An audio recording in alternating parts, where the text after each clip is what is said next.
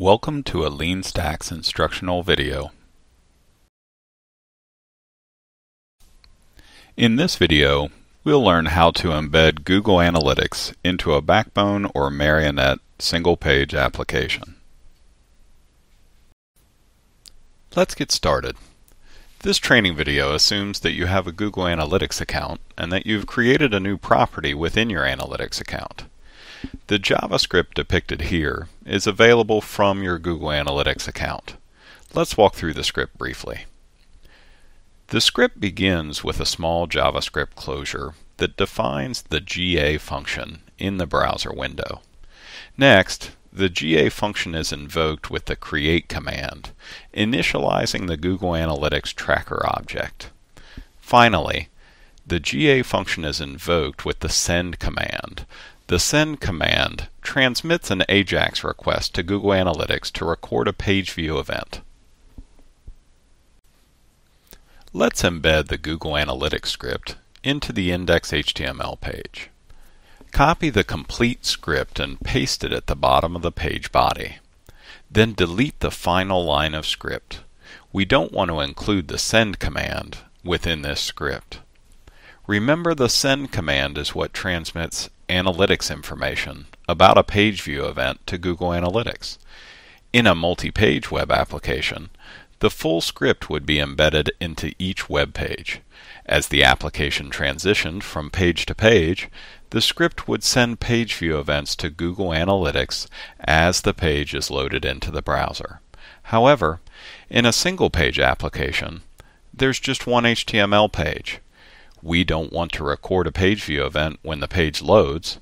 Instead, we want to do this when the application route changes. Let's take a moment to introduce you to this sample application that we're using in this video. This is a sample Marionette application written in CoffeeScript. This source file, application.coffee, is the starting point for the Marionette application. The Marionette application is created and attached to the browser's window object. The top-level Marionette application regions are then declared. When the start event is triggered, we initialize the backbone history object. Finally, the source file contains the jQuery listener for the document ready event. The application logger is initialized and the Marionette application is started. Let's scroll back to the top of the application.coffee source file. After the creation of the Marionette application object, let's define a new function named TrackPage. The TrackPage function will send the page view event to Google Analytics.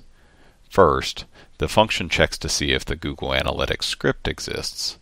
By checking that the script exists, you may choose to include the script only in your production deployment. Next, Create the name of the page, which we will transmit to Google Analytics. Concatenate the backbone history root and the backbone history fragment variables to form the page name. Finally, use the Google Analytics send command to transmit the page view event back to Google Analytics. Now let's listen for route events. In the application.coffee source file, Listen for route events published by the Backbone History object. Your application may have many router classes. Each time they perform a route event, they invoke the route function on Backbone History. In turn, the Backbone History object publishes a route event. Within the body of the route event listener callback function, we simply call the track page function.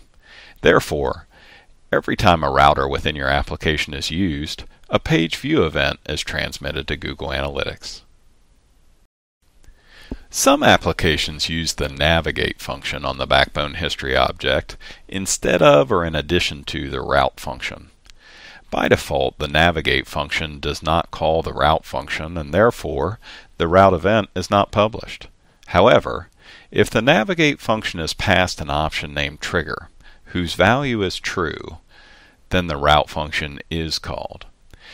In this sample application, the Marionette application object has a defined function named navigate, which simply calls the backbone history navigate function. To ensure that we track page view events when the navigate function is called, we add a call to the track page function. We will only call the track page function if the trigger option is undefined or false. This is to prevent duplicate calls to track page, inflating our Google Analytics statistics. Let's run the application and see what happens. I'm going to open a terminal window and I'll use Gulp to start a local web server. Next, I'll open a browser and open the browser's developer tools. I'll use the console tab. I'm going to open my application running on localhost. As you can see from the console log, the Marionette application started and immediately went to a default route named home. The navigate function was used, which in turn called the track page function, sending a page view event of forward slash home to Google Analytics. The forward slash by itself was obtained from the backbone history root. Home was the backbone history fragment. They were concatenated together. Now I'll switch to the Network tab, and we see that the collect AJAX service was called. In the query string parameters, notice that forward slash home was sent to Google Analytics, as we expected. I hope you've enjoyed this LeanStacks training video. For more videos, subscribe to the LeanStacks YouTube channel. For more information, go to leanstacks.com.